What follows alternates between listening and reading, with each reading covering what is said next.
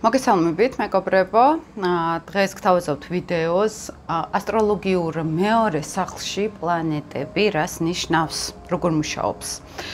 საკმაოდ რთულიერი ასტროლოგია და ძალიან ბევრი ვიდეო კი მაქვს დადებული და ვიცი რომ ბევრს უჭირს გამომყვეს რომ ნენელა შეისწავლოს. ნუ ჩემი უფრო мотивация არ არის ის რომ ხა ამ ვიდეოებით გასწავლოთ ასტროლოგია, იმიტომ რომ ამისთვის კურსებიც არის, მეც მაქვს კურსი, მალე მექნება ახალი ჯგუფის დამატება და შეგიძლიათ უფრო საფუძვლიანად ისწავლოთ, იმიტომ რომ ესე ცალ-ცალკე ვიდეოებით არ ხდება ხოლმე. უბრალოდ ვისაც ან რუკა აქვს გაკეთებული, ვინც ნენელა უღრმავდება თავის კომბინაციებს, მათთვის ძალიან სასარგებლო იქნება ეს ინფორმაციები და ანუ იმის პრეტენზია არ მაქვს, რომ აი ჩემი ვიდეოებით თქვენ ასტროლოგიას ისწავლით, ხო? ესე ესე მარტივად არ ხდება. მაგრამ გაცილებით სიღრმისეულად გააცნობიერებთ ასტროფსიქოლოგიის და კარმული ასტროლოგიის განხრით, როგორ მუშაობს საერთოდ რუკა, ხო? ან თან ვცდილობ ხოლმე, რომ ეს უბრალოდ ფორმულებად კი არ შემოგთავაზოთ, რომ აი მის მართველი იქ არის, აი ეს ამ შემთხვევაში ეს შეიძლება გამოიწვიოს ხორება ესე გამოვლინდება არა. აი თქვენ თავში რომ გააცნობიეროთ, ახლა მაგალითად წინა ვიდეო მქონდა პირველ სახლში პლანეტებზე და მან თან აცნობიერებთ თქვენ ამ ვიდეოების მოსმენით ნენელა პოულობთ ამ პირველ სახლს სად არის რა? ანუ აბსტრაქციიდან კონკრეტიკაზე გადადიხართ, ხო? იმიტომ რომ ასტროფსიქოლოგია გაცილებით უფრო მაღალი დონე არის ასტროლოგიაში, მაღალი ინტელექტსაც მოითხოვს შესაბამისად და გაცნობიერების მაღალ დონეს, იმიტომ რომ ჩვენ თუ ასტროფსიქოლოგიაში გვინდა გავერკვეთ, იქ უკვე ფსიქოლოგიაშიც უნდა გავერკვეთ ძალიან კარგად, იქ კარმულ ასპექტებშიც მაგალითად ინდურ ფილოსოფიაში, სხვა სხვა რელიგიებში, ანუ ძალიან სიღრმისეული ცოდნა არის საჭირო და ამიტომ ამბობ ხოლმე, რომ ასტროლოგია თვითონ სწავლება ასტროლოგიის სიმბოლურად ეს არის ურანის ენერგეტიკა, ისევ ჩემი კატა გამოდი აქედან. აა სიმბოლურად ურანი მართავს ასტროლოგიას, მაგრამ თავიდან ბოლომდე მეცხრე სახლის ინფორმაცია არის ეს. მეცხრე სახლი, ანუ შილდოსნის ენერგია თუ არა გვაქვს, უშუალოდ მეცხრე სახლის ძალიან გაგუჭirdება უფრო სიღრმისეულად დავინახოთ ასტროლოგიის არსი, ხო? აა და ნუ მესამე სახლი ზოგადად სწავლის სფერო არის. ეხლა რა, ეხლა ცოტა ისეთი შესავალებით გაგიკეთეთ, მაგრამ აი ვინც სწავლობთ ნენელა ასტროფსიქოლოგიას, რომ ჩაუღმავდეთ თქვენ თავს, ხო? და ეს არ არის მხოლოდ ცალკეული კომბინაციები, მათემატიკური ფორმულა. ეს არის პლუს ინდივიდუალური, ყველასთან ესეთ თავის აი სხვადასხვანაირად მუშაობს ყველასთან. კომბინაციები, ოღონდ ჩარჩო ერთი გვაქვს, რაღაც ანალიზი ერთი გვაქვს ხოლმე ვარიანტები. წინა ვიდეო საერთოდ 12-ვე სახლზე მაქვს ძალიან მოკლედ აი უბრალოდ რო წარმოდგენა შეგქმნოდათ, იმიტომ რომ სახლები უჭერთ ყველაზე მეტად, პლანეტები კი შეგვიძლია ვთქვათ, რომ ასე თუ ისე გავიგოთ, მაგრამ სახლები უჭერთ. არ და სემპტორში არაფერი ისეთი რთული არ არის. რეალურად ასტროლოგია არის, კითხულობთ 12 სახლს, კითხულობთ პლანეტებს. და მე უბრალოდ სწავლობთ ამის კომბინაციებს, ხო? და უბრალოდ აი ამ ვარიაციებში, ფორმულებში ვაჯენთ ამ ყველაფერს. თავარი არის ეს ვისწავლოთ, ხო? პირველ სახლზე ქონდა წინა ვიდეო. მეორე სახლზე, ეხლა შემოგთავაზებთ, თქო, განა მეორე სახლზე ვილაპარაკებთ, როდესაც პლანეტები ხდება მეორე სახლში. ან გვინდა ამ სახლს შევხედოთ გაცნობიერებულად, მთლიანად შევისწავლოთ. ხო, საერთოდ ღრმა ასტროლოგიური კუთხით. ესე ხდება, მაგიტომ აი ზოგი ჩემთან პირად რუკაზე მოდიან ხოლმე ორჯერ, სამჯერ, ხო, არის საკმარისი ერთი და თან მარტო ერთ ასტროლოგთან მისვლა, ხო? იქ ბევრი, ну, თუ ჩვენ მართლა სერიოზულად გვინდა ჩვენ თავში უფრო სიღრმისეულად გავერკვეთ, ჩვენ თავზე ვიმუშაოთ, ხო? ამ შემთხვევაში გულისხმობ, თორე უბრალოდ ერთჯერადად რო უბრალოდ დაქალი იყო ასტროლოგთან და მეც დამაინტერესა, ეს ფორმულა, რა თქმა უნდა, ერთჯერადად კარგად მუშაობს და იკმაყოფილებენ ცომის მოყარებს, რაღაცებსაც გაიგებენ სასარგებლოს და მორჩა, მაგრამ ვინც უფრო სიღრმისეულად ხართ დაინტერესებული ამ სფეროთი მათთვის აგიხსნით რა არის მეორე სახლი? ოღონდ რა თქმა უნდა ვიდეო მიდევს შეგიძლიათ კარგად ნახოთ, მაგრამ მაინც ავხსნი სიმბოლურად, აი ყვავილის სიმბოლო დავდე მეორე სახლთან, რას ნიშნავს? აა თან გართობა, თამაში, თან საქმე, ჩემი თავარი სარის რაღაც დრაივი. ესე იგი, წარმოიდგინეთ ასტროლოგიური სახლები ვიცით რომ ეს არის ფაქტობრივად სფეროები ჩვენ ცხოვრებაში პირდაპირ სფეროები, მაგრამ ამავე დროს ეს არის ძალიან ღრმა ენერგეტიკულ დონეზე. ძალიან სიღრმისეული სფეროები, რომელიც მთლიანად სისტემაში რო ჩავრთოთ, ეს უკვე მხოლოდ პლანეტები აღარ გამოდის. ეს არის ფაქტიურად იქ მართველებს ვიღებთ ეს მაგ ვიდეოები სახლებზე, სახლების მართველებზეც შეგიძლიათ მე ნახოთ. ანუ მთელი ფილოსოფიური, მათემატიკური სისტემა არის, ხო, ეს სახლები. მაგრამ ვიცით რომ დროის დადგენა მნიშვნელოვანია ზუსტი რომ ეს სახლების სისტემა დაგვიჯდეს, იმიტომ რომ როცა იბადება ადამიანი 20 წუთის შემდეგ ან 9 საათის შემდეგ აბსოლუტურად სხვა სახლების წყობა აქვს. შესაბამისად მისი ბედიც რადიკალურად იცვლება, ხო? აბსოლუტურად განსხვავებულად ლაგდება. ა მისი ცხოვრება ყველა სფეროს მიხედვით, აბსოლუტურად ყველა სფეროს მიხედვით. არის შემდგომი მომენტი, როცა ვთქვა, ტყუპები იბადებიან, ერთი და იგივე ყოველთვის ხა მართალია გითხრათ, იქაც არის განსხვავება ხოლმე ზოგჯერ სახლებით, ან გრადუსებით, პატარა განსხვავება აუცილებლად არის 5 წუთის შუალედში, 10 წუთის შუალედში, მაგრამ ის ზირითადი ენერგია მსგავსია, თუმცა ხშირად ხდება ისე რომ აი სხვანაირად გამოხატავს მეორე სახს ადამიანი მაგალითად და ერთი სხვანაირად გამოხატავს მეორე სხვანაირად. ჩარჩო შეიძლება ინტერესის ერთი არის მაგრამ ერთმა ცოტა სხვა დონისკენ წაიყვანოს მეორე სახლი მაგალითად მეორე სახლზე რო უყურებთ ეს არის ენერგია, როდესაც შეიძლება ადამიანი საკუთარ რესურსებს იყენებს, ან სხვების რესურსებსაც იყენებს, იმიტომ რომ ავტომატურად აქტიურებს მერვე სახლის ღერს, ამას ახსნი მერე, მეორე შეიძლება მხატვარი იყოს. ან ურთიერთობებში იყოს გართული მაგალითად დიპლომატიის სფეროში ამავე დროს ხო? იმიტომ რომ ვენერა მართავს სიმბოლურად მეორე სახლს. ეხლა პირველ რიგში ვუყურებთ ჩვენს მეორე სახლს და პლანეტები ყავს თქვა დატვირთული ხო? მანდ პირველ რიგში ვუყურებთ მეგობრებო მართველს. მართველი შეგიძლიათ ვიდეოც ნახოთ მაგრამ სიმბოლურად რას ნიშნავს მართველი? ნახეთ. იწება ვერძით თქვენი მეორე სახლი უყურებთ მართველი არის მარსი. შეგიძლიათ დაგუგლოთ, ნახავთ ცხრილებს, რომელ ნიშანს რა მართავს მართველი მისი რა არის. არის კირჩხიბში ა მეორე სახლი, აი კუსპიც რო ეძახით, აი ზუსტად ამ წერტილზე რომელი ნიშნიდან იწყება მეორე სახლი. მართავს თვარემას, უყურებთ მერე სად, რომელ ზონაში ჩვენ პირად რუკაში არის მთვარე, ხო? და რა ასპექტები აქვს მას? პირველი მართლს უყურებთ, რა ენერგიის მატარებელი არის ჩვენ მეორე სახლი, როგორი ა ზონა, ან მართველი სად არის? მაგალითად, ჩემი მეორე სახლი იწყება ქალწულით. აი პირადად ჩემ რუკაში და ჩემთვის როგორ ეცით მეორე სახს რო უყურებთ ეს არის ფულს როგორ გამოიმუშავებს ადამიანი. ან მისი მატერიალური ღირებულებები როგორია? არ არის მარტო ფული ხო? ეს არის ჩვენი რესურსები. როგორც აი ხა ცოტა უნდა ჩავშალოთ ხო? პლუს როგორ ვუყურებთ ფინანსებს? როგორ ვუყურებთ ფულის გამომუშავებაში? აი რა გვაქვს? მაგალითად მეორე სახლის მართველი მერვე სახლში მე ვხედავ ჩემ რესურსებს სხვის ხარჯზე უნდა ვიყო, ან იმიტომ რომ მერვე სახლი არის, ან სხვისი ფული, ან ეს არის არაპროგნოზირებადი შემოსავალი, როდესაც განასტაბილურად ამდენი მაქვს, არა, აი მე-11 სახლსაც ახასიათებს ეს ჩემი შემოსავალი, არაპროგნოზირებადი, ცვალებადი, მოულოდნელად მოდის, მოულოდნელად მიდის, მერვე სახლი არის უცფრო. შეიძლება ერთბაშად ძალიან ბევრი შემომიდეს, მე აბსოლუტურად საერთოდ არ მქონდეს, ხო? აი ძალიან მარტივ ისეთ ასტროლოგიურ მშრალ ფორმულებში რო გელაპარაკოთ. მაგრამ მეორე სახლი არ არის მარტო ფული. აი აქ ტყილა არ მაქვს ეს ხო? ვენერა მართავს მას. მეორე სახლი არის ურთიერთობები ჩვენ გარე სამყაროსთან. აი როგორ აღვიქვამთ გარე სამყაროს? ურთიერთობები ასევე არის მესამე სახლი, ოღონდ უფრო აი კომუნიკაცია. მაგალითად მე რაღაც რესურსები მაქვს და მაგალითად მომყავს ძალიან ბევრი სიმინდი. აი მე რა ხალხი მჭirdება, ვისანაც გავყიდი. ან ვისანაც ვიყიდი სხვა რამეს, ხო? ანუ ის რესურსებს რომ მივიღებ. მაგრამ სუფთა მეორე სახლი, ეს არის როგორც ჩემი ფიზიკური ენერგია, როგორც ჩემი სასიცოცხლო ენერგია, იმიტომ რომ პირველი შემდგომი სახლი არის. პირველი ხო არის ფიზიკური მე, სხეული, მეორე სახლი არის აი ამის რესურსები.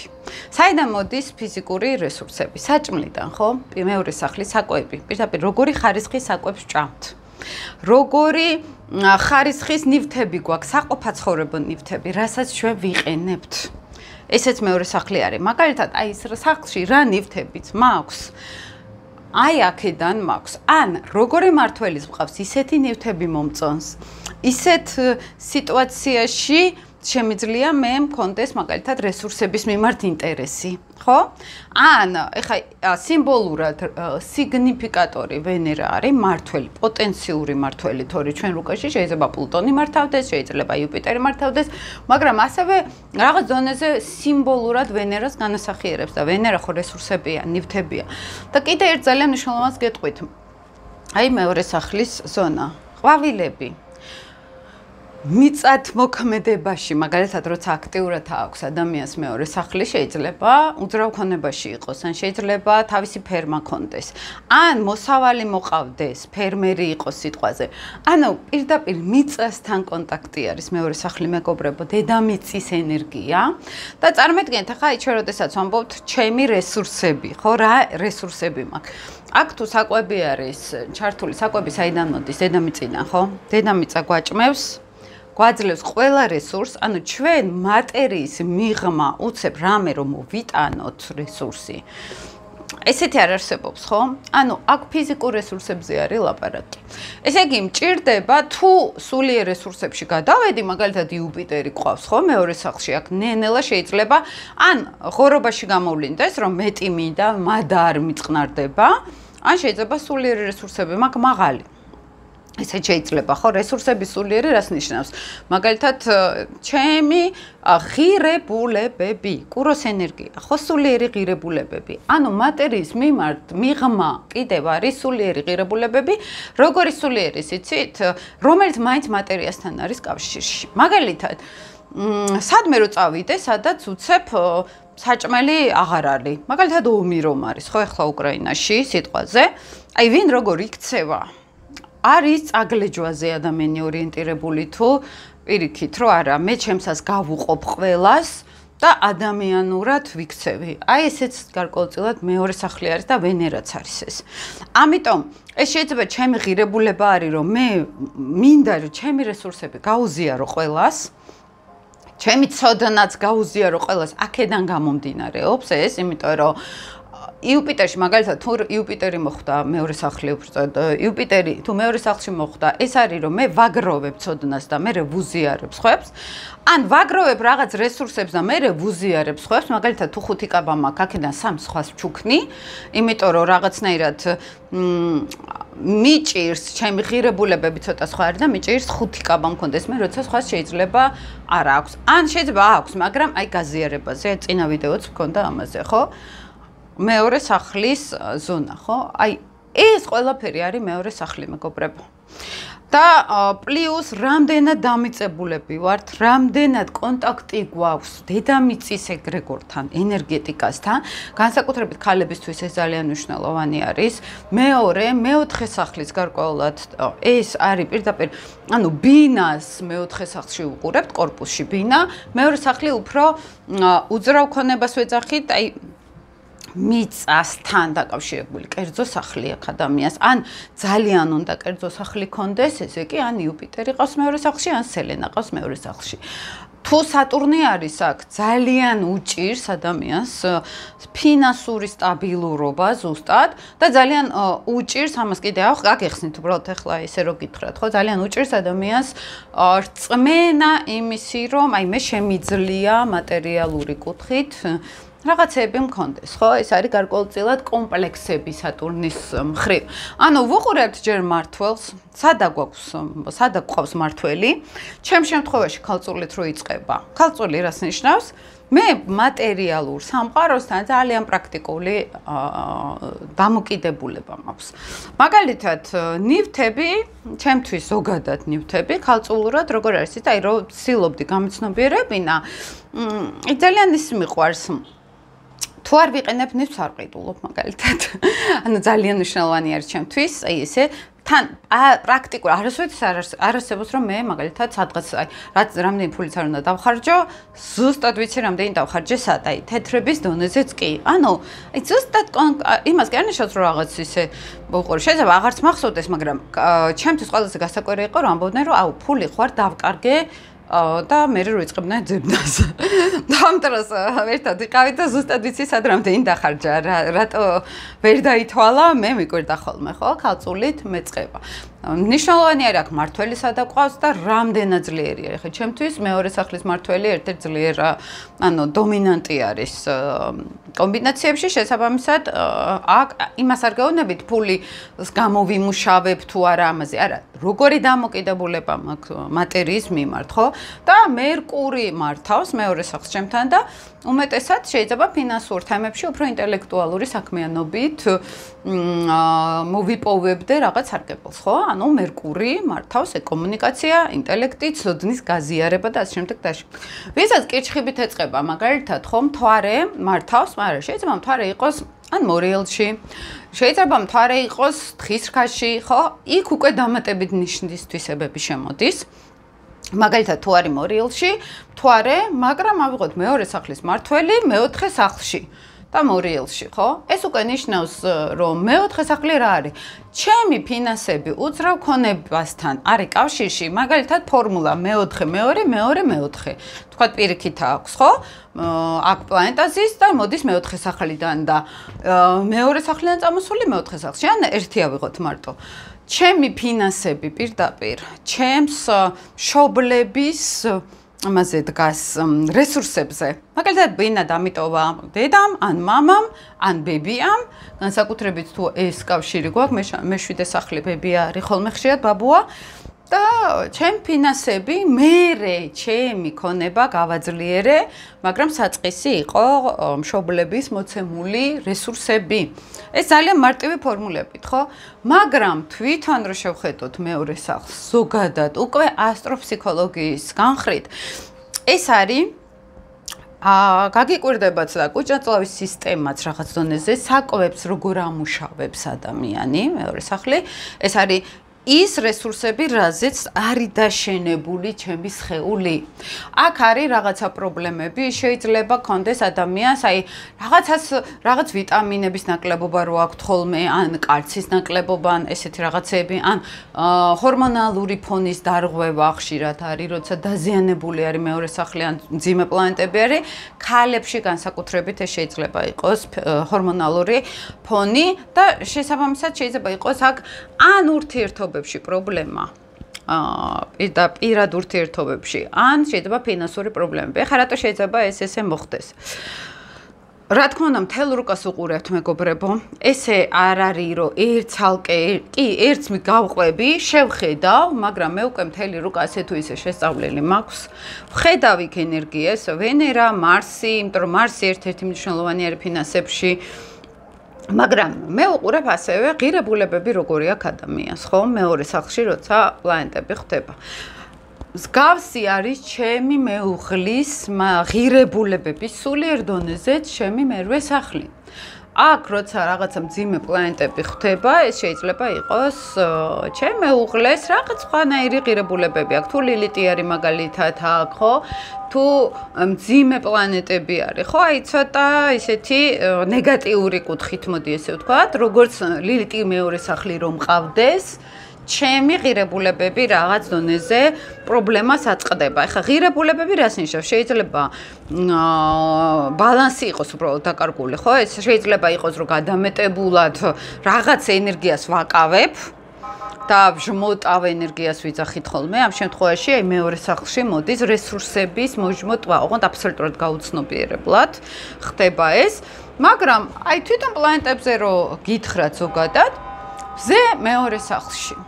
ჯერ თელი რუკა უნდა გადავხედოთ საიდან მოდის მზე. შეიძლება იყოს პირველი სახლის მართველი, შეიძლება მეორე სახლის მართველი მეორეში, ხო ეს უკვე ძლიერი კომბინაცია, მაგრამ მზე რა არის? ის სახლი, რომელსაც მზე ანათებს. მამის სიგნიფიკატორი ზოგადად და ჩვენი აი პირდაპირ პრაგმატული მე, ხო? აი პრაგმატული ლოგიკური მე. რა მინდა რომ ჩანდეს, ჩემი რესურსები მინდა რომ ჩანდეს, ხო? ჩემი აი ნახე, მე კომფორტში ვცხოვრობ. ან ჩემთვის მნიშვნელოვანი არის კომფორტი. თვარესთვისაც ეს არის, ოღონდ შინაგანი ემოციური კომფორტი და სტაბილურობა. ეს ხომ მიწის სტიქი არის, მიწის ენერგია არის და ეს არის სტაბილურობასთან დაკავშირებული, მეგობრებო, ხო? მეორე სახლი და მზე მეორე სახლში ეს არის, რომ ჩემთვის ცნობიერად მნიშვნელოვანი არის სტაბილურობა. ფინანსური, კეთილდღეობრივი და პლუს ღირებულებების კუთხითაც არის. იცით, რომ აი, ჩემთვის ღირებულება არის, რომ მე ვიღაცას რაღაც უნდა გავუყო.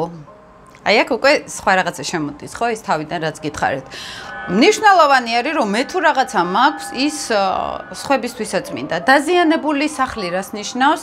ზუსტად ამ ღირებულებებში გვაქვს პრობლემა, მეგობრებო. შეიძლება გადაჭარბებული ეგოიზმის გამოვლინდეს, როდესაც მე მთლიანად მინდა მიზიდვა მთელი ფინანსების, მარტო ჩემ ეგოისტურ კეთილდღეობაზე ვფიქრობ მაგალითად და არ ვფიქრობ სხვებს გავცე რამე. ხო? ქვეცნობიერში უფრო მუშაობს სატურნი და ლილიტი, მეგობრებო, და სატურნი როცა ხვდება, აქ სატურნი რასაკეთებს? ხუდას ყველაფერს პაზმებს აჩენს, აი ფიზიკურ დონეზეც კი ჟმოტავს სატურნი ენერგიას. ეს არის დიდი პესიმიზმი. ამ დროს მზე თუ არის კომფორტი, რომ მე ცნობიერად მთლიანად ვარ ორიენტირებული მატერიალური კომფორტი მქონდეს. ან მთლიანად ვარ ორიენტირებული სიმშვიდე იყოს ჩემთან, კომფორტული გარემო მქონდეს. ან მაგალითად სილამაზე მიყვარს. ესთეტიზმი მიყვარს, სიმშვიდე მიყვარს, ხო? ყველაფერი როცა აი ძალიან კარგად არის, ან ბუნებაში გავდივარ და იდეალურად ვარ, ხო? აი, ჩემთვის ეს არის რაღაც ენერგიის აღდგენა. რატომ ზე ეს არის ენერგეტიკული, მთავარი სასიცოცხლო ენერგია. სად იხდგენს ადამიანი? ზე რომელსაც არის? პირველ სახში მზე თუ ფიზიკურ აქტივობაში რო არის, მანდ არის ყველაზე კარგად. მეორე სახლი ეს არის სიმშვიდე, ბუნებაში ყოფნა, ან მიწით რო არის დაკავებული ადამიანი, რაღაცებს რო დარგავს, რაღაცებს მოულიცი, ყვავილებთან ექნება ურთიერთობა, იქ მიწასთან ექნება ურთიერთობა, ან სილამაზეა გარშემო ლამაზი ნივთები, კომფორტული გარემო, კომფორტული დივანი და ასე შემდეგ, ასე შემდეგ. თუ არ დაზიანებული მზე ზუსტად ეს უნდა ადამიანს და ვერ აღწევს ამას. შინაგანი შფოთვა შეიძლება კონდეს და შინაგანად, აი მე ის მინდა და არა ეს და აი კომაყოფილების განცდა შემოდის. სატურნმა პირიქით იცი, სატურნი ეს არის ბნელი ცივი ენერგია, ნაცრისფერი ენერგია და ხშირად ვამბობთ ხოლმე ეს ხო კარმის მანიშნებელიც არის და ვამბობთ ხოლმე რომ წარსულ ცხოვრებაში მიწასთან არ ქონდა ენერგეტიკული კავშირი. აი ეზოთერულად რო გითხრათ ეს პირდაპირ დედამიწას ესე უყურებდა, არ მინდა მე დედამიწაზე ყოფნა. შეიძლება აქ თქვათ ეზოთერულად მაგალითად ან ჰიპნოზე ვინც იყო, ან ფსიქოლოგიურად ცდილობდა საკუთარ თავთან კონტაქტს, ამბობდნენ რომ აი დედამიწაზე არ მინდოდა მოსვლა. ან დედამიწასთან არ მაქვს კონტაქტი, ხო? სატურნი, ციცივე სრული. ვერაფერს ვერ გრძნობ აქ. ბუნებაში გადის, ვერაფერს ვერ გრძნობს. ან მატერიალური კუთხით აქვს როგორ, რამდენიც ვჭირდება, იმდენი უნდა მქონდეს ფული. ზედმეტი არ ვიცი, რა არის. ან რეალურად ეგრე განვითარდა მისი ცხოვრება, რომ უჭირდათ ოჯახში სიღარიბე, სატურნი მეორე სახლი. კოეთრა ის გამოხატული სიღარიბე. ან საჭმელიც რო არ გქონდა ამასაც ვამბობთ ხოლმე პლუტონს და სატურნს ახასიათებს ეს მეგობრებო. აი სრულად განულება ენერგეტიკის აი რატო შეიძლება ფული არ ფონდეს საერთოდ? ესე იგი პრაქტიკულები არა ვართ რაღაც კუთხით. ესე იგი, ნუ ხა პატარა ბავშვი რა პრაქტიკული უნდა იყოს, ხო? როცა სატურნი არის მეორე სახლში, ხო? რა უნდა იყოს? ეს უკვე სატურნს ამბობთ გენეტიკური ხაზი. აი სუფთა ასტროლოგიური ფსიქოლოგია რო ჩავთოთ, რომელიც აი მე რას ვხედავდი, ჩემს წინაპრებს უჭირდათ, ან ჩემს ოჯახს ზოგადად უჭირდა და ისო გვიწევდა შემცირება, ხო რაღაცი სურვილების ვენერა მართავს ამას.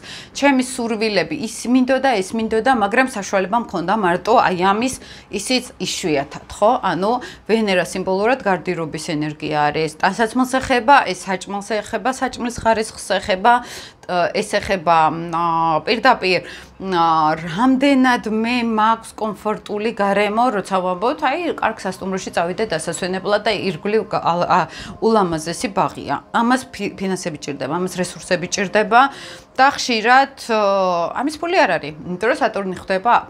როდესაც ვამბობთ, მაგალითად, მეორე სახლის მართველი მერვეში და კარგად ასპექტირებული, ყოველთვის ვიღაცას მივყავარ ანუ მე შეიძლება არ გამოვიმუშავე ფულს, მაგრამ ვიღაცას მიყავარ და პატიჟებს სიტყვაზე. ან შეიძლება მთელი მსოფლიო მოვიარე სამსახურის ხარჯზე. ერთ-ერთ ფორმულას ვიძახით, ხო? ან მერვე სახლის მართველი მეორეშიც ესე შეიძლება იყოს. ჰარმონიული კუთხი და რუკაც უნდა იყოს ჰარმონიული, მარტო ეს არ მუშაობს, მაგრამ როდესაც ადამიანი მაგალითად თელი ცხოვრება იმაზე ნაკლებს გამოიმუშავებდა, მაგრამ ცხოველში დადიოდა, კარგი მანქანა წავდა, მაგრამ ყველაფერი სხვისი იყო, სამსახურის, ან ქმრის, ან ცოლის, ან დედის მაგალითად ხო, აკარკოლწილა დედა მოყიდა მანქანა, დედა მოყიდა სახლი, ეს კომბინაცია არის, ოღონდ ესეც უნდა იყოს აქ ჩართული მეოთხე სახლი, ხო? თუ უფროსი არის აგარეული მეათე სახლს უყურებთ, აა თუ ვენერა ჯდება მეორე სახლის სიგნიფიკატორს ვეძახით მეცხრე სახლში, შეიძლება უფასოდ დამპატიჟონ და უცხოეთში მ დამიფინანსონ ფრენაც იქ სულ ვიღაცებთან ცხოვრობ, ანუ ეს ფორმულა არის ვენერა როცა მეცხრე სახლში ჩდება, ხო? აი ამას ვიძახით. მაგრამ თვითონ ენერგეტიკულად მეორე სახლი ხო? აი რამდენად გვჯერა? რომ ჩვენ შეგვიძლია უბრალოდ დაუტკბეთ ცხოვრებით. რამდენად გვაქვს აი ხა უკვე ღრმა ფსიქოლოგიურ ენერგეტიკულ დონეზე რო აგიხსნათ. არ მოდის ფული და დაბლოკილია პირველი ჩაკრა, ისიც დაბლოკილია ყელის ჩაკრა მეგობრებო, იმიტომ რომ და ესეც. ეხა ნახეთ. ვენერა ხომ მართავს სიმბოლურად. ვენერა გულის ჩაკრა არის. აა პლუს ეს არის ყელის ჩაკრა, იმიტომ რომ ყურო არის აქ, ხო, გამოთქმა, გულის თქმის გამოთქმა და პლუს აი ეს ყურო არის. ყურო ყველაზე პირველი ენერგეტიკა არის დედამიწასთან კონტაქტის, ხო? ესე იგი, სიმბოლურად სატურნი ჯდება მეორე სახლში. ან მაგალითად კიდე აი ურანი, ურანი კიდე ცოტა სხვანაირად მუშაობს, მაგრამ აზიანებს მეორე სახლს, ხო? ურანი ეს არის რომ მე არც კი ვიყურებ გაქცევა მინდა საერთოდ, ხო? ან სწრაფად მინდა, მივიღო, მე სწრაფადვე აღარ მინდა მივიღო, ხო? ანუ მსგავსი ენერგია არის, ამას კიდე აგიხსნით. მაგრამ სატურნი ეს არის, რომ საერთოდ არა მაქვს კონტაქტი, რა მინდა, რა მომწონს არ ვიცი. ჩემს გულს არ უსმენ ხშირად, მეხუთე სახლში სატურნმაც იგივე იცის, ოღონდ მეორე სახლი არის როგორი იცით, როგორი გულის თქმა. ეს უფრო სიყვარულის ენერგია არის, აი გულში რაღაც მინდეს და მინდა გავაზიარო, რომ როგორ მიყვარს ის, როგორ მიყვარს ეს. ეს უფრო ურთიერთობებში არის. მე რაღაც არ მომწონს ამ ადამიანის, ანუ ვენერა სიმბოლურად რომ მართავს სასწორის ენერგია სიმბოლურად ხო იღებს ასევე. პირდაპირ ურთიერთობები გამოდის. ან ზედმეტი მოთმინება მაქვს. ზედმეტად გაშიშებული ვარ, ან ზედმეტად მაგალითად კომპლექსი მაქვს რამე ვთქვა, იმიტომ რომ სატურნი შიში არის, ხო? ან უბრალოდ რწმენა არა მაქვს, რომ მე შეიძლება საერთოდ გარე სამყაროსთან ვიურთიერთო. ეხლა მე დაგიწყეთ თავიდან ასტროლოგიური ფორმულებით, ეხლა ფსიქოლოგიურად გიხსნით, ხო, ამას მეორე სახლი. აა პირდაპირ ბლოკი აქვს ხოლმე, აი რომ წარმოვიდგინოთ, მაგალითად თერაპიაზე ვართ და აა ცოტა წარმოსახვით მუშაობთ, არის ესეთი პრაქტიკა, მეგობრებო, ფსიქოლოგიური, როცა წარმოსახვით მოგზაურობთ საკუთარ ხელში. ახლა და ამას თელი წინაპირობა ჭირდება, რელაქსაცია და მთელი ამბები და იქ ხედავენ სად აქვს ბლოკი ადამიანს, ხო, ქვეცნობიერ ენერგეტიკულ ბლოკებს რო ეძახით. როგორც წესი, არის აქ სატურნი და დაზიანება და მთელი ამბები ან მეორეს მართველია დაზიანებული. ბლოკი შეიძლება აი ამ ზონაში კონდეს ადამიანს. ფსიქოლოგიური, ოღონდ ფსიქოლოგიურ სპაზმს ვეძახით, რომელიც მერე ნენელა წლების განმავლობაში თუ ამაზე არ იმუშავა ადამიანმა, გადადის ფიზიკურ სპაზმებში. ყელში მოჭერილობის შეგრძნება შეიძლება გულზე იმდენად არ უფრო დაწოლა, აი გამოთქმა, ხო? აი თითქოს აი ჰაერი ვერ ჩადისო, იმიტომ რომ ჰაერის სტიქია არის სიმბოლურადაც ვენერა მეშვიდე სახს მართავს და სასწორს მართავს, სიმბოლურად ასევე ჰაერის სტიქია გამოდის და აქ არის უკვე გამოთქმის პრობლემა, აქ არის კომპლექსები, რომ მე დედამიწასთან ენერგეტიკული კავშირი არ მაქვს. შესაბამისად, ქვეცნობიერად არ მჯერა, ოღონდ სატურნი არის, აქ სატურნი წინა ცხოვრებებია, კარმული ასპექტი არის, ხო? პლუს, ანუ წინა ცხოვრებაში მე რესურსებს საერთოდ არ ვაქცევდი ყურადღებას. ან მქონდა ბევრი ფული და არ ვიყენებდი. ან საჭმელები რო იყო, არ მეცალა ამ საჭმლისთვის და არც ჭამდი ნორმალურად.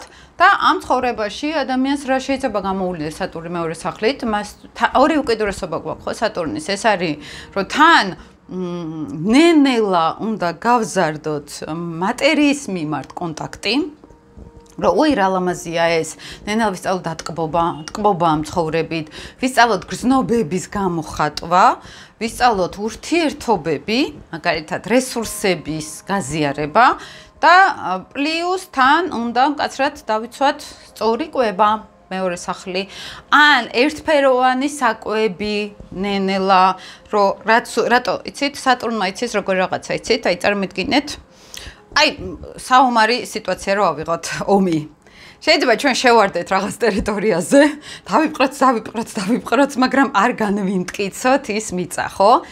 ანუ როცა რაღაც პატარა მიწას ვიპყრობთ ძალიან ცუდ მაგალითს გიყვებით მაგრამ აი ესე ის უნდა შევითვისოთ ეს ზონა ხო? იქ რაღაცები უნდა გავამაგროთ იქ ჯარი უნდა ჩავაყენოთ სიტყვაზე და ამიტომ არის რა პატარ-პატარა მითი მიდიოდნენ ხოლმე ეხლაც აი თუნდაც უკრაინის ომში რო ათავისუფლებენ უკრაინელები მაგალითად თუნდაც თავის ტერიტორიებს აი ესე ნენელა შედიან. რაც უფრო სწრაფად შეხვალ მით უფრო გაგიჭირდება ამის გამყარება. სატუმს აქ აი ეს პრაგმატიზმი რომ მე გადავდგამნაბიშ ის ბოლომდე უნდა ჩავსვა ფორმაში. ეს ხო ფორმის პლანეტარი მატერიალურ ჩარჩოში უნდა ჩაისვას ეს. და ეს სიმბოლურად ისე ღირებულების დონეზე უტრიალებთ, რომ აი ესეთი რაღაცა არის, რომ შევჭამე, ის უნდა შევითვისო კარგად. რაც უფრო მრავალფეროვანია, მე ამ ამის გადამუშავება არ შემიძლია. ხანდას ფსიქოლოგიური ფაქტორი არის ის ასე ხედავ სამყაროს. თუნდაც რომ ისე ბევრი ფული სატურნ მეორე სახლს, მან არ იცის რა შეიძლება გამოიყენოს ეს ბევრი ფული, იმიტომ რომ ესე უყურებს რაც შეიძლება დახარჯოს ოღონდ როგორ დახარჯავს იცით აი ესე ექნება მე რომ ან აი როგორ გითხრათ სტრუქტურა არის რა მაინც რა ფული დავხარჯე მაგრამ შეიძლება ისე დავხარჯე რომ აქ დამჭირდა აი ამ სტრუქტურა ჩამოვაყალიბე ხარჯვის სტრუქტურა ჩამოვაყალიბე ეს ბიზნესისთვის მინდა საქმიანად დახარჯოს სიტყვაზე. ან უბრალოდ არ ეძლევა ფული იმიტომ რომ არ იცის რა შეიძლება გამოიყენოს. იმიტომ რომ რაც მხოლოდ აუცილებელია რაც მხოლოდ საჭირო არის იმაში იყენებს. ფულის გარდა ეს არის ურთიერთობები ხო? ან შესაბამისად ურთიერთობები ახალი ჩემთვის ცოტა პრობლემა არის იმიტომ რომ რაც მაქვს იმასთან მიჭირს ესე ძალიან ესე ჩართული კომუნიკაცია, ხო? ანუ რესურ ენერგია არ ყოფნის ბევრი. ადრეც მქონდა ვიდეოში ნათქვამი, რომ მე მეორე სახლში სატურნი ეს არის ფიზიკური ენერგია. თავი არ მაქვს. ხუთი შვილი მყავდეს. თავი არ მაქვს, ბევრი ურთიერთობა მქონდეს გარე სამყაროსთან. ან ეს არის მეორე სახლი ვენერაც არის გარკვეულწილად და აქ ცოტა სექსუალური ენერგია ციბლოკება, სასიყვარულო ურთიერთობების მიმართ დამოკიდებულება ციბლოკება, განსაკუთრებით თუ მეხუთე სახლის მართველი არის მეორეში, ეს და სატურნი არის აქ, ეს ნიშნავს, რომ პირდაპირ სასიყვარულო სფეროში ან სატურნი ატანის რეჟიმშია, ან მოთმენის რეჟიმშია. ატანა კიდე პლუტონსაც უფრო ხასიათებს, მაგრამ სატურნის შტრიხიც არის ეს. ან მე ვინც მიყვარდა იმას არ უყვარდი. იძულებითი ურთიერთობა მაქვს, ან მიყვარდა და აღარ მიყვარს. ან აი მიხვდით ხო, ცოტა ესეთი კომპლექსები შეიძლება გამოვლინდეს. ეხლა მთვარე ავიღოთ მეორე სახლში. მთვარე ეს არის ემოციური, ემოციური საჭიროება. მაგალითად მაცივარი მქონდეს სავსე. მაგალითად საჭირო არის ჩემთვის ურთიერთობები გარე სამყაროსთან. მაგალითად ჩემთვის მნიშვნელოვანი არის მატერიალური კომფორტი, ჩემთვის ემოციურად ოღონდ რას რას მნიშვნელოვანია? ემოციურად მნიშვნელოვანი არის ბუნებასთან კონტაქტი, ან სტაბილური, შვიდი გარემო მქონდეს. სტაბილურს რას ვიძახით? გაჩნია მთლიან რუკას, რა თქმა უნდა, მაგრამ მთვარე თან ცვალებადია. შესაბამისად, ჩემ ფინანსები ცოტა ცვალებადი მოდის. ეს შეიძლება ემოციურად გახსნა უჭირდეს ურთიერთობებში ადამიანი, ან ფარავდეს თავის მატერიალურ ენერგიასაც გარკვეულწილად და მე ვუყურებთ ფარე საიდან მოდის? აი მაგალითად მეორე სახლის სტაბილურობა არის, ხო? და უცებ მე-11 სახლიდან მოდის აქ მთვარე. მე-11 სახლს ურანის ენერგია შემოაქვს. ესე იგი, ჩემი ფინანსები შეიძლება მე კარგად გამოვიმუშავებ. რესტორანი მაქვს ჩემი მთვარე რო ავიღოთ, ხო? ან ფსიქოლოგიით ვარ დაკავებული და განსაკუთრებით მე-11 სახლი ეს არის პირადი კონსულ კონსულტაციები ან მეშვიდე სახლის მართველია ხო მთვარე მეორეში ფორმულა შეგვიძლია ავიღოთ ესე რომ ფსიქოლოგი კონსულტაციებზე რომელიც ძალიან კარგი შემოსავალი აქვს აქედან გამომდინარე. კარგად პრაგმატულად იცის ფული როგორ გამოიმუშაოს ოღონდ რა თქმა უნდა ჰარმონიულ მთვარეზე გვაქვს საუბარი. მეორე სახლი არის ასევე რესტორანი საკვებთან ურთიერთობა მაგალითად ძალიან კარგი ხელი შეიძლება კონდეს იუპიტერი მეორე სახლიც ესეთი არის კარგი სარესტორნო ბიზნესი ან კარგი ესეთი როგორ გითხრათ გაფართოების შესაძლებლობა უფრო საკვებ ობიექტებთან ან საკვებ ობიექტებში ესეც როგორც შანსი ვარიანტი ესე შეგვიძლია დავინახოთ და მთვარე მიხვდით ხო? ანუ იქ უყურებთ რომელიც მეათე სახლიდან მეორეში თუ მოდის ეს ნიშნავს რომ მთვარე თუ არის თან მთვარესთვის მეათე სახლი ცოტა ესეთია მაგრამ ჩემ ფინანსები უკვე მეათე სახლის ენერგიას იწვევს შეიძლება მამასთან ერთად ბიზნესი მქონდეს ან მთვარე ხო ოჯახის ენერგიასთან არიან დედას ენერგიასთან მაგრამ მეათე სახლი მაინც უფრო რომ მე ბოსი ვარ ან მე მარტო კა მაქვს გამომშავება ანუ მარტო მინდა რომ მე ფული მქონდეს, ან მარტო უმშაობ ამაზე, ან მარტო კამ მივაღწი იმატერიალურ შესაძლებლობებს, რაც ეხლა მაქვს, მეათე მეორე აა კავშირი ამას უკავშირებთ ხოლმე ხშირად. თუ არის მერკური გონების მართველი პლანეტა, ეხა ეს არის კარგი ვაჭრობისკენ მიდრეკილება, კომუნიკაცია არის ხო მეორე სახლი.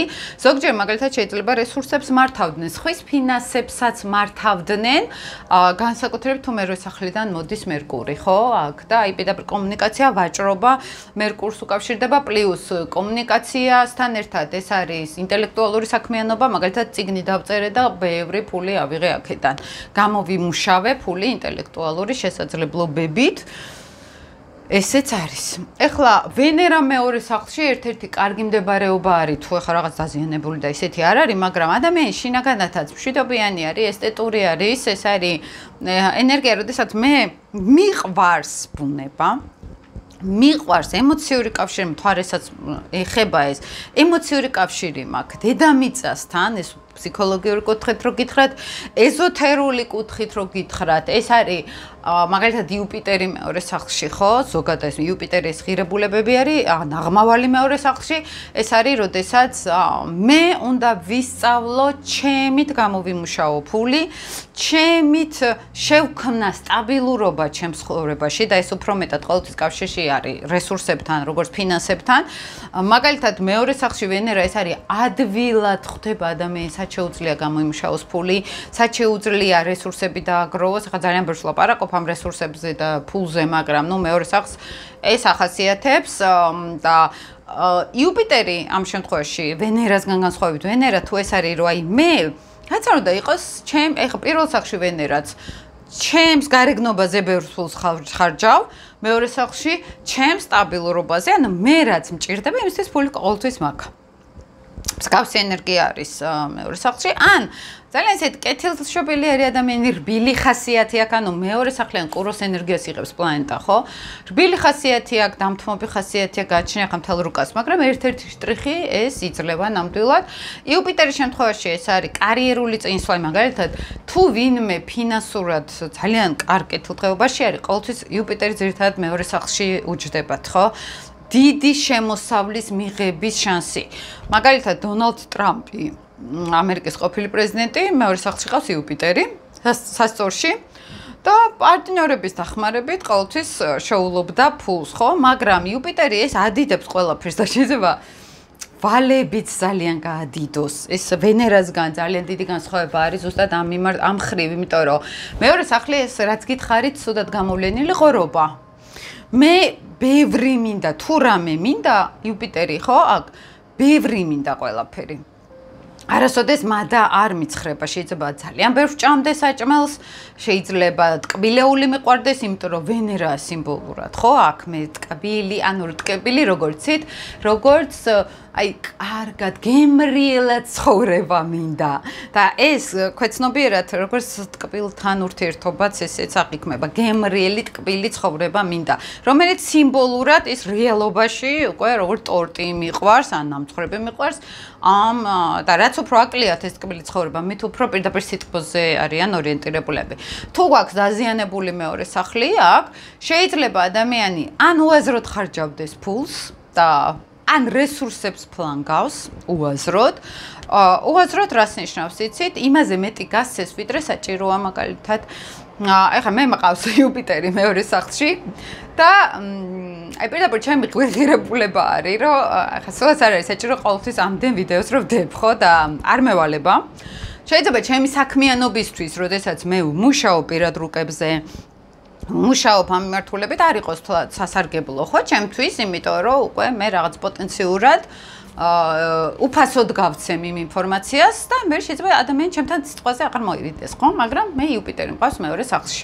ჩემთვის ეს ღირებულება არის რაც გაქვს ის უნდა გასცე აუცილებლად და შეიძლება 100% 100-დან 100 არ გასცეს სიტყვაზე მაგრამ ამის საზღვარიც არ ვიცით ხოლმე როცა იუპიტერი ყავს მეორე სახლში. ანუ აი ესე ვართ ეს აუცილებლად გასაკეთებელია. გაქვს ფული გაქვს თუ რესურსები გაქვს ახლა აი რაც არ უნდა იყოს ადამიანი გაზიარებაზე არის მიდრეკილი ხო? ახლა მანქანა რომ ყავს ჩემ ცხოველთან მოყვარულ მეგობრებს უვეუბნები საათმე თუ მანქან ზაღლი და ნახეთ უპატრონო დაგჭირდათ მანქანა.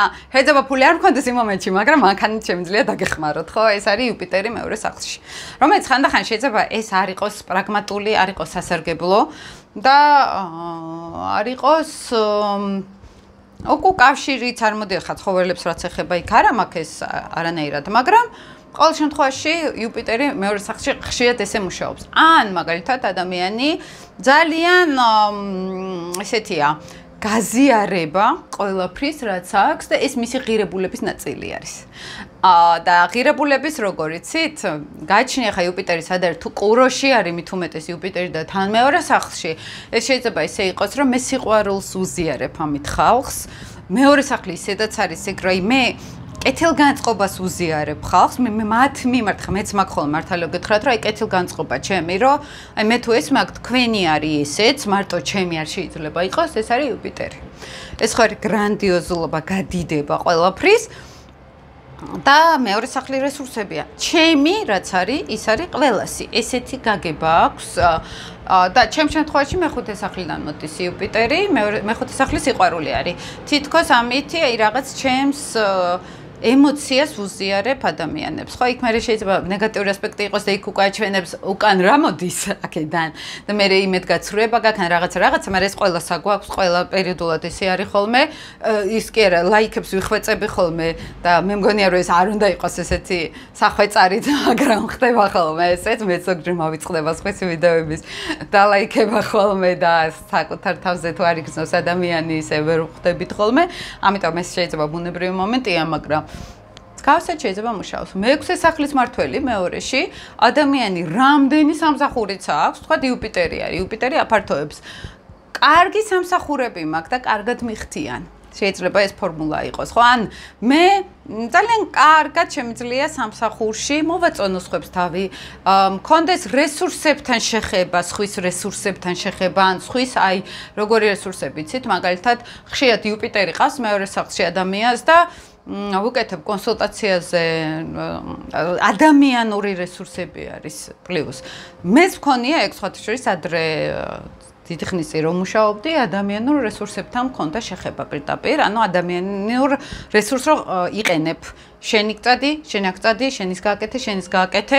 აი ეს ტენდენციაც ახასიათებს მეორე სახლს და როცა მეექვსე სახლის მართველი არის განსაკუთრებით თან იუპიტერი, ეს არის ადამიანი, რომელიც რესურსებს იყენებს ან ადამიანურს, ან ფინანსურს, მაგალითად, რომელიღაც მაღალი ინსტიტუტი, ну აი მაგალითად რო ამბობენ ხოლმე ეკონომიკის სამინისტროში მართავს რაღაც ფინანსურ ნაწილს სიტყვაზე ადამიანი, ხო? ან მუშაობს ადამიანების ჯგუფთან რაღაც რესურსებზე მეორე სახლის შეგვიძლია აქ იყოს, ხო?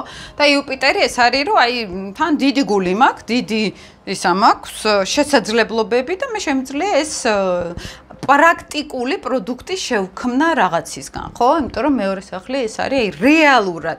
აი მინდა კიდე ის ჩემ მაგალითიდან აგეხსნათ, ძალიან არ მოყვარს ხოლმე ჩემ თავზე ლაპარაკი, მაგრამ აი ხა როცა ჩემთან პირად რუკაზე მოდიან ხოლმე მაგალითები თუ ხსნის სულ ჩემ პირად ცხოვრების კლიენტების, ოღონ კლიენტების ზოგადად ისე ვამბობ, რომ არის მაგალითად გამოცდილება მაქვს ძალიან ბევრი დაგროვილი, 10 წელია რუკებს ვაკეთებ და უამრავ ადამიანს გაულია ჩემ ხელში და მიყვებიან ონლაინ რეჟიმი მაქვს და მიყვებიან ხოლმე თავიანთ ისტორიებს, მეც ვეკითხები, აი აქ ეს ფორმულა გიჩანს, რა მოხდა შენ ცხოვრებაში, როგორ განვითარდა მოვლენები და აქედან გამომდინარე ვიცი ხო როგორ მუშაობს ეს კომბინაციები. არა მარტო ლიტერატურულად არამედ რეალურ პრაქტიკულ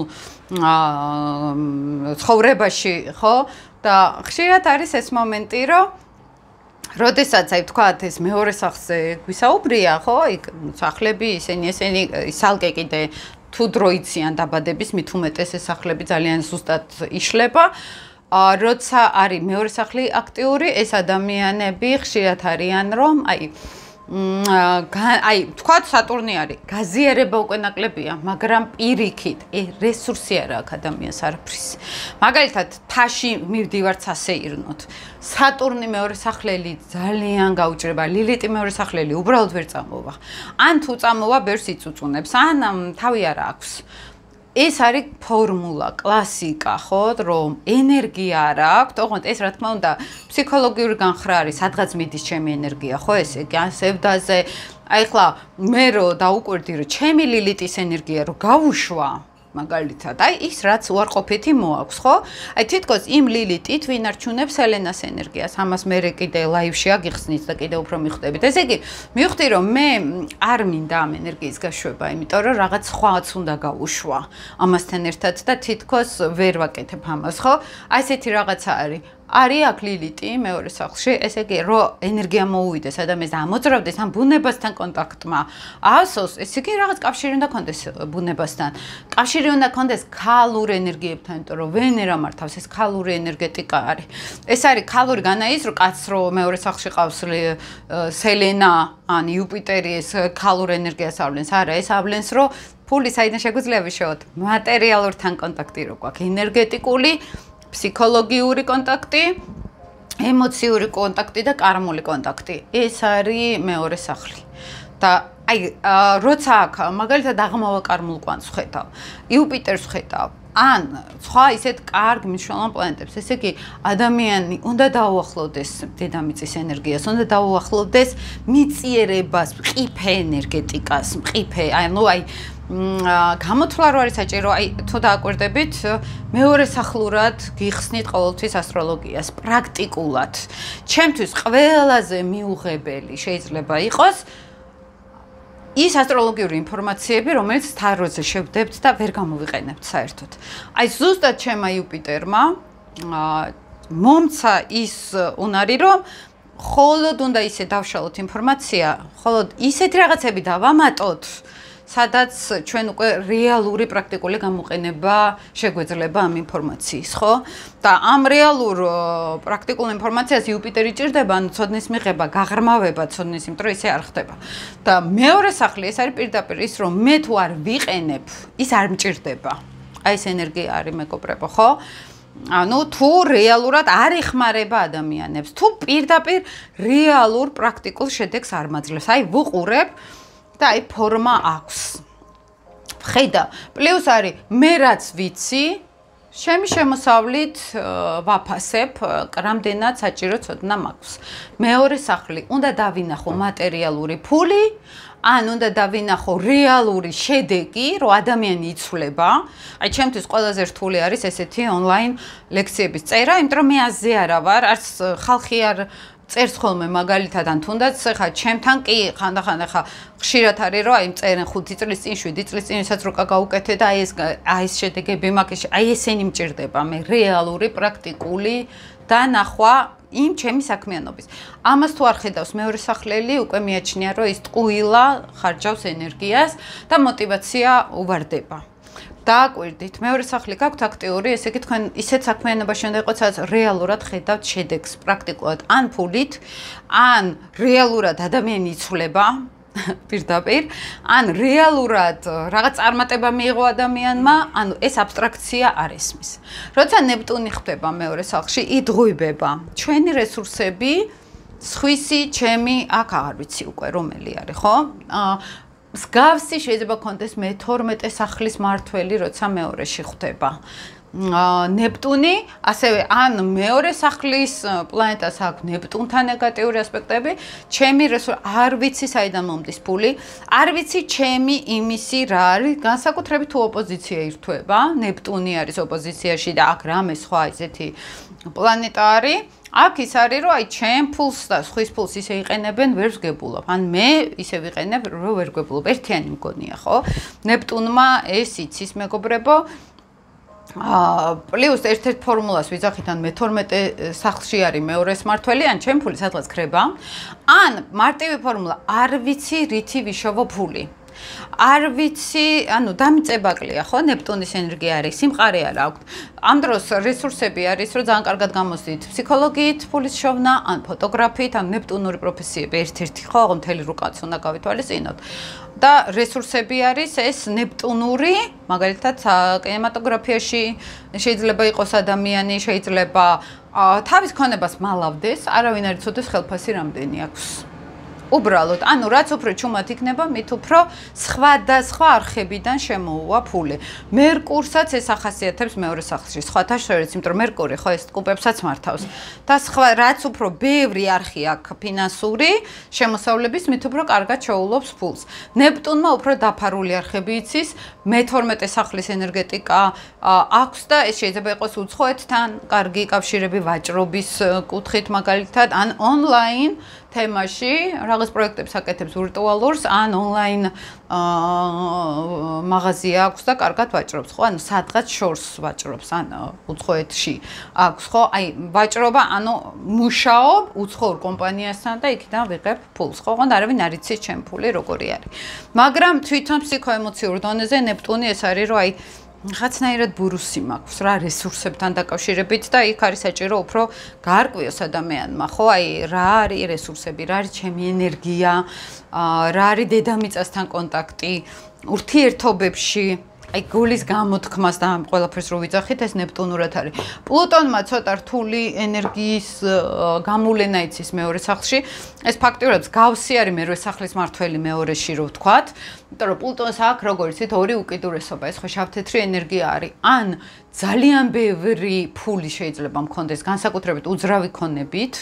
ბევრი სახლი მაქვს და სხვისი ფული შეიძლება იყოს ან აი კარგად შეუძლიათ გამომშავება თანხის, მაგრამ ამავე დროს შეიძლება იყოს რომ სერიოზულად კარგავდნენ ამ ფულს. შეიძლება მოულოდნელად ვიღაცამ გადასცეს ფული, ვიღაცამ აჩუქოს ან აა მაგალითად შეიძლება განსაკუთრებით თუ მეცხრე სახლის მართველი არის მეორეში და ეს პლუტონი არის, ეს არის რომ უცხოეთში უცხოეთიდან მოვიდა ჩემთან ქონება, ან უცხოეთში დავაგროვე ქონება ან მეორე სახლის მართველი მეცხრე სახლში. მსგავსი არის ეს უცხოეთში დავაგროვე ქონება ან პარტნიორის გამოყენებით მაგრამ პლუტონს მეორე სახლში ასევე ახასიათებს რა იცით აი ახალგაზრდობაში განსაკუთრებით აი ბრძოლა გადარჩენისთვის სატურნს გავს ამ კუთხით, თქო სატურნი იყო ძალიან ცოტა რესურსები იყო. და პლუტონი ეს ნიშნავს რომ ზოგჯერ საერთოდ არ იყო. ან მე იძულებული ვიყავი თუ ოპოზიცია ან კვადრატურა არის. იმის გამო რომ სახლი არ მქონდა არ საწასასვლელი არ მქონდა რაღაცები მომეთმინა ხვები ზეწოლა მომეთმინა მსგავს ფორმულას ვიღებთ ხოლმე პლუტონს მაგრამ ყოველთვის იცოდეთ რომ პლუტონი ხდება აქ ადამიანს ძალიან დიდი უნარი აქვს შემოსავალი კონტეს ძალიან ბევრი. ფაქტიურად პლუტონური სხვის ხარჯზე ან სხვა მისცეს ანუ მერვე სახლი ეს რა არის ხო? ეს ვეძახით ხოლმე ამას რომ დაგვიტოვებენ ფულს მაგალითად ხო? ან აა შობლები რომ დაუტოვებენ ხოლმე რა ქვია იმას დამავიწყდა მემკვიდრეობა მემკვიდრეობის ენერგეტიკაც შეიძლება იყოს პლუტონი მეორე სახლში ან მეორეს მართველი რომელიმე კომბინაციაში ხო მეორე სახლიდან მოდის პლუტონი მსგავსი ენერგია უკვე აქვს. დაგვრჩა ესე იგი ურანი, და ლილითზეც ასე თუ ისე ვისაუბრე, მე არ მიყვარს ლიტი დიდად მეორე სახლში, იმიტომ რომ აი მიწასთან კონტაქტის პრობლემა არის ხოლმე დედამიწის ენერგიასთან, მაგრამ ურანი მეორე სახლში ეს ძალიან საინტერესო მდებარეობა არის იმ კუთხით, რომ თუ ჰარმონიულად არის ეს, ეს არის ადამიანი იდეებით შეულობს ფულს.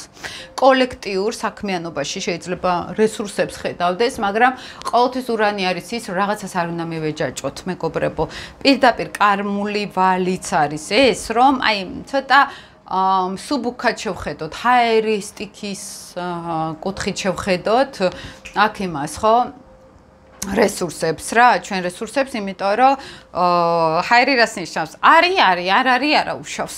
ანუ, როდესაც კარგავთ მარტივად, მაგრამ უცებ მიდის, უცებ მოდის. არ ვართ მიჯაჭვული მატერიალურზე, მაგალითად ფორმულას ურანი არის მეორე სახლში ან მეოთხე სახლში, ამას ვამბობთ ხოლმე, რომ მაგალითად არ უნდა მიეჯაჭოს სახლში, შეიძლება ნაკირავები კონდეს, ანუ ის კეთილდღეობა რაც მაქვს, მე ან მაღაზე არა ვარ მიჯაჭვული, ან სულ ნაკირავები მაქვს.